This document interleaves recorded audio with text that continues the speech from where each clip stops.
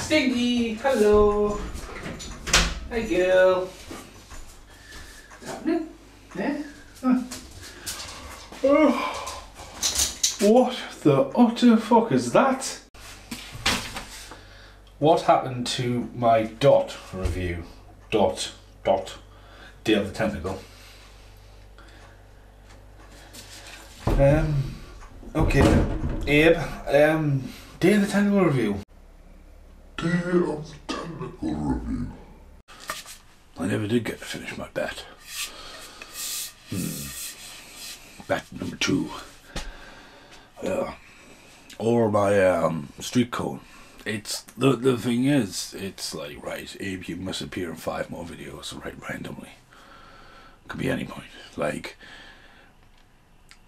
could I trust Stephen in six months' time to finish my street cone and be a day of the tentacle? Hmm. I don't know, could I? I could. Maybe. That's an actual street corn. Day of the Tentacle review. Day of the Tentacle. Did I not master it? Did I not release it? I think that's what happened. Tyra, come here. Fine, you know, come in from work. Was it street corn in the living room, kitchen? Oh no. It was nice and peaceful. You, in my stairs, stay away. Hello. We're going to take you for walks. You'll have to do it.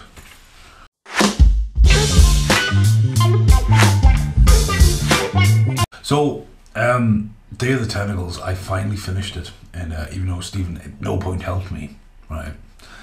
Um, it's great to see it remastered. I'm absolutely devastated. Dead Space is actually only on PlayStation Five.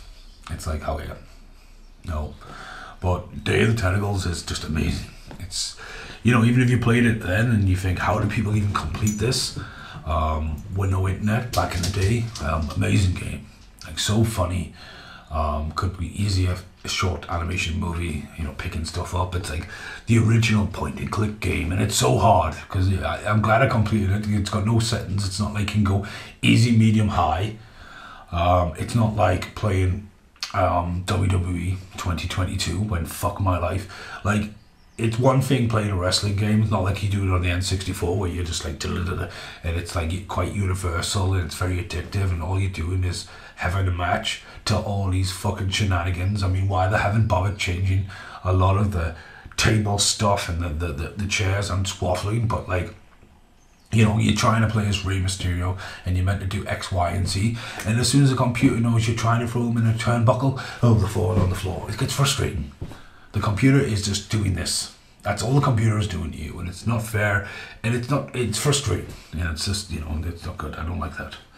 But what I do and uh, do enjoy was, you know, I was trying to beat Batista, and Batista's like the middle guy, and it's just like keeps going for the beast lock and like power bombs out of nowhere and like all right chuck you and you're just this tiny guy and you're trying to trick this big guy in the corner and he falls on his face and you're like oh fuck off that's not enjoyable Day of the Tentacles is you know a story about tentacles trying to take over the world great soundtrack I own the soundtrack um, but very good like nowadays you just go on the internet oh like Benjamin this and Benjamin that no don't care about that but yeah I just want to say my piece about Day of the Tentacles since I'm going to go away I've had it of these videos.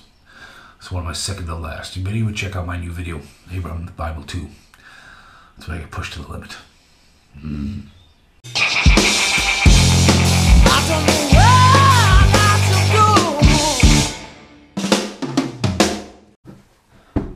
Hello. So, yeah, approximately a year and a half ago, Abe filmed a review for Day of the Tentacle and it never got released.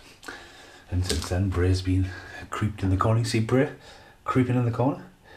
But yeah, welcome to the madhouse. Goodbye for now.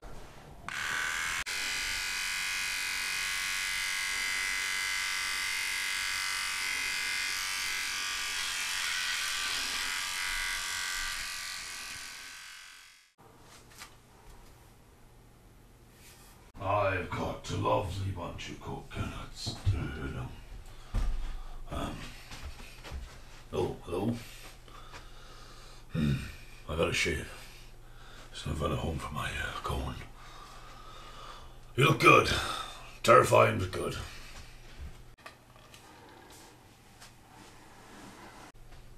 Goodbye for now.